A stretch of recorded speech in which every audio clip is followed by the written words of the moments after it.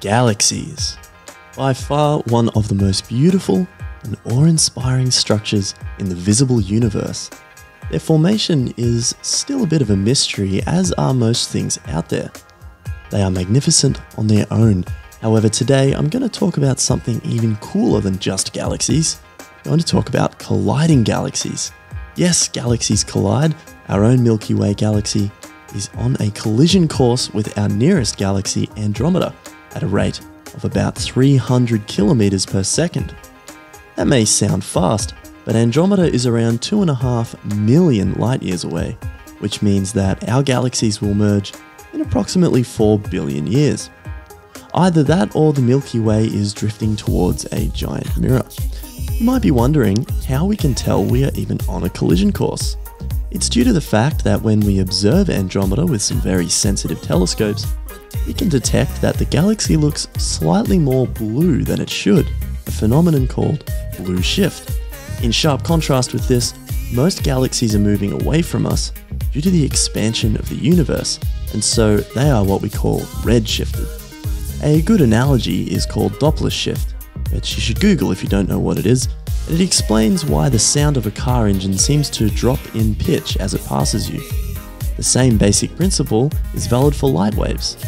It's okay though if you're unfamiliar with this idea, it's not really important for the rest of what I'll be talking about.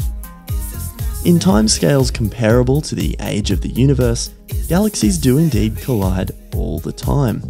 In fact, about 50% of all galactic disks are warped due to collisions and near misses with other galaxies.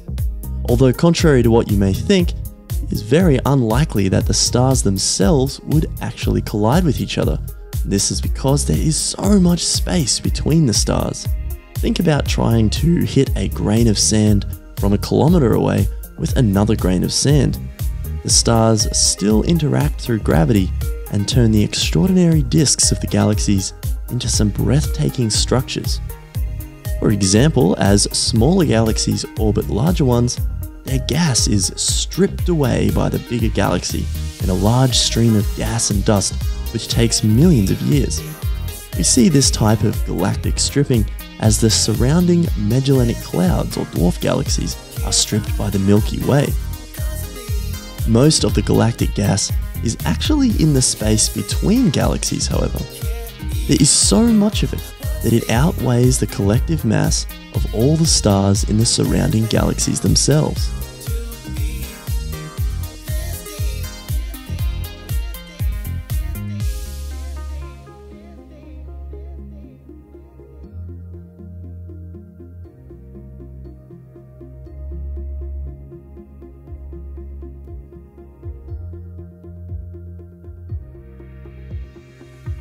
In large galactic clusters, galaxies are much closer together, which means there are more collisions.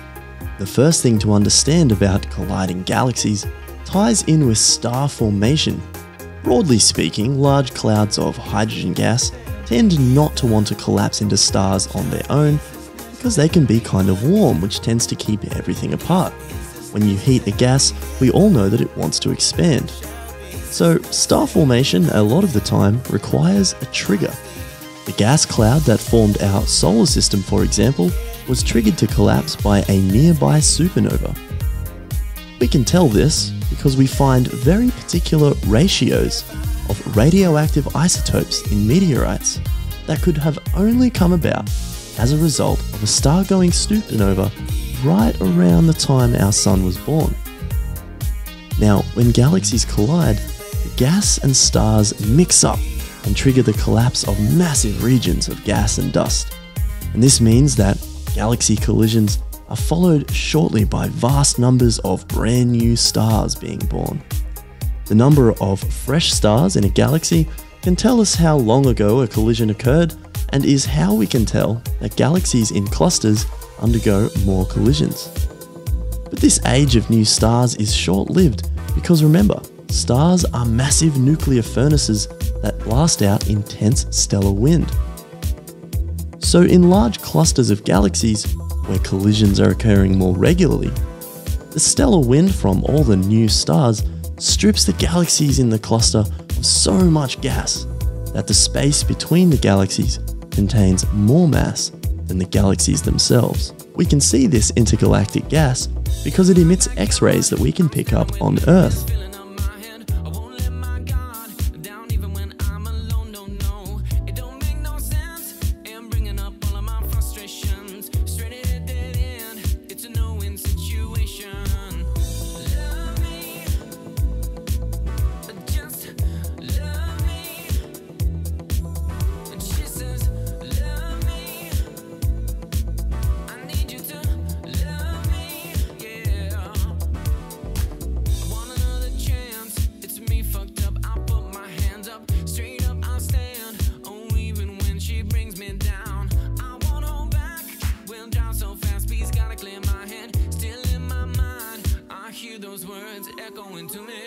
Galactic goop.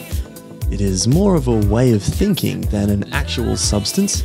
Let me explain.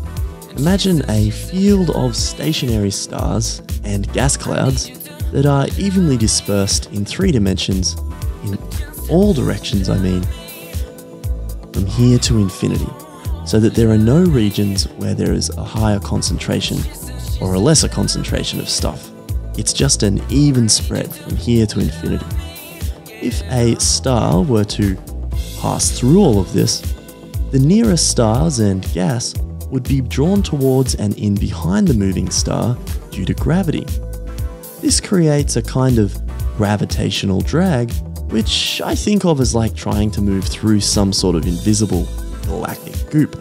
The actual term for this process is called dynamical friction, don't worry too much about the name, just focus on visualizing the idea. You see, the star only has so much energy of motion as it interacts with the surrounding stuff through gravity. It passes that energy onto things it interacts with, and vice versa. And this is the basic mechanic of colliding galaxies. You could then see how a field of gas and dust that is more dense would act more strongly on the moving star. Now, what is spectacular about it is that in an actual galactic collision, the stars are moving towards each other at hundreds or thousands of kilometers per second. So, when the very dense central regions of the galaxies interact in this way, stars transfer truly enormous kinetic energy to each other in a very short space of time, billions of stars get slingshotted into intergalactic space at terrifying speed. The only wish you should place on these shooting stars is to wish you should never encounter one, because they are hooking. This process doesn't just produce gigantic flaming balls of nuclear fusion tearing menacingly across the universe, though. Many stars stay within the vicinity and collectively form some of the most beautiful arrangements of stars you will ever see. Combine that with all of the new star formation and you have something truly breathtaking to behold.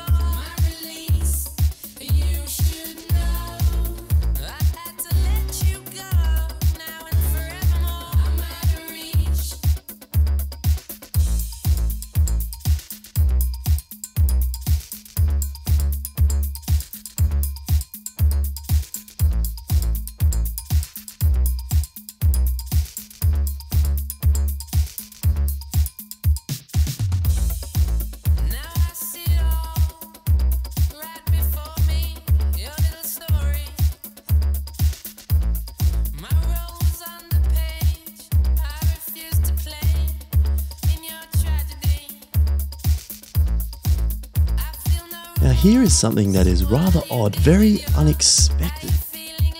How can it be that two of the largest structures in the universe can pass right through each other and not even flinch?